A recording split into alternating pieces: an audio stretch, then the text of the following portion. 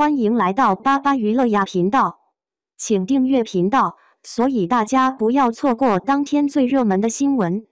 我们今天的时事通讯包括以下内容：杨紫工作室又被骂啦，粉丝指责工作室不用心，给杨紫的妆造太难看。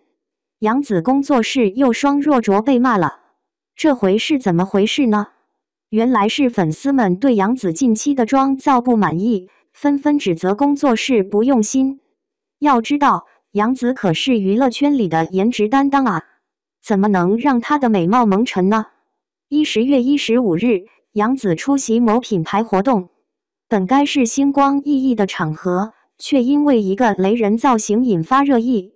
杨紫身穿一袭白色礼服，本该惊艳全场，可惜这份美感被灾难级的妆容毁得一干二净。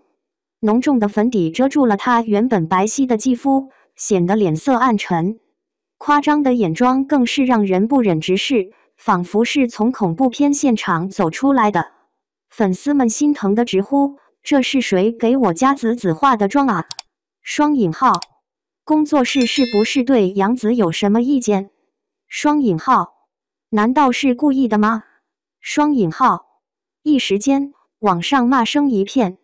杨紫妆造灾难的话题迅速登上热搜，有人甚至调侃说：“这妆容怕不是跟阎王爷借的 V R R 吧？”双引号。当然，也有理智粉丝出来打圆场，可能是灯光问题吧。双引号。也许是现场太热，妆容融化了。双引号。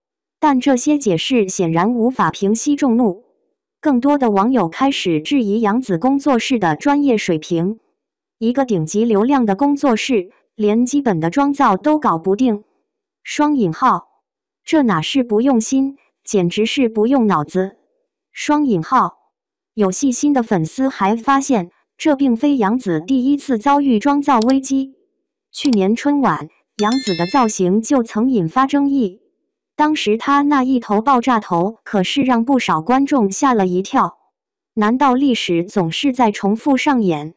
面对铺天盖地的质疑，杨紫工作室选择了沉默，这更加剧了粉丝们的不满。有人怒斥，连个道歉声明都不会发。双引号，是不是觉得粉丝好欺负？双引号。然而，事情并没有就此结束。一十七日。一位自称是杨紫造型师的网友在社交平台上发声，他表示妆造不是一个人的事，需要多方配合。双引号，有时候我们也很无奈。双引号，这番话无疑是火上浇油，粉丝们更加愤怒了，这是在甩锅吗？双引号，连个负责任的态度都没有。双引号，与此同时。一些业内人士也开始发声。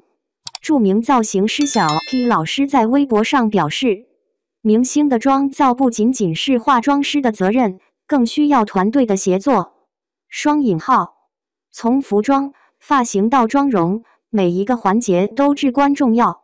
双引号，如果团队不够专业，再好的底子也会被糟蹋。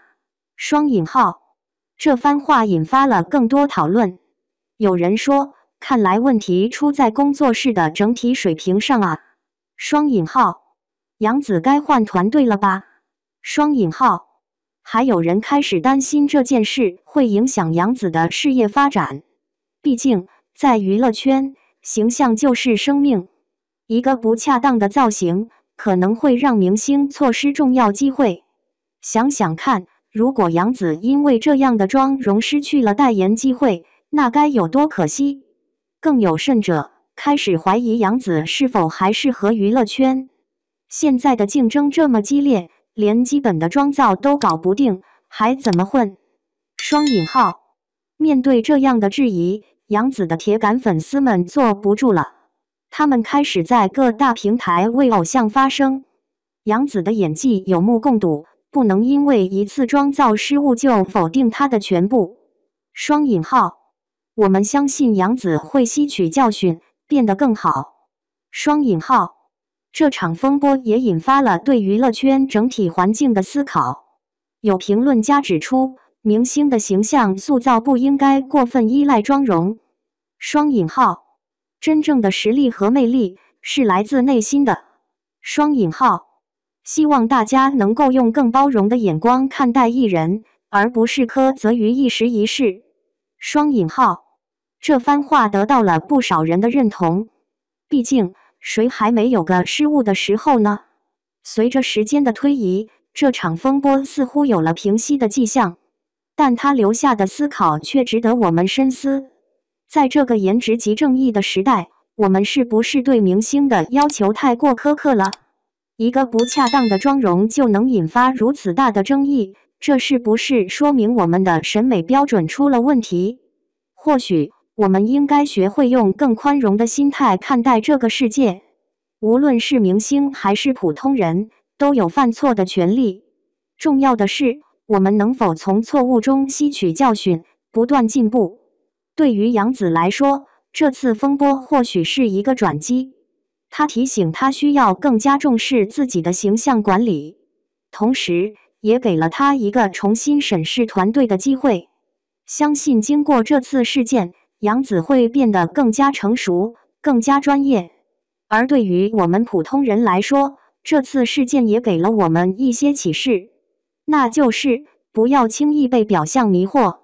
真正的美来自内心，无论是生活还是工作，我们都应该追求内外兼修。只有这样，才能在这个纷繁复杂的世界中找到属于自己的一片天地。最后，让我们期待杨紫的下一次亮相吧。相信他一定会带给我们惊喜，毕竟他可是那个曾经凭借《家有儿女》走红的小雪啊，那个曾经用演技征服观众的香菱啊，那个曾经在《余生，请多指教》中演绎精彩爱情的顾清寒啊。我们有理由相信，这次的风波只是他演艺生涯中的一个小插曲，未来的杨紫一定会更加出彩，更加耀眼。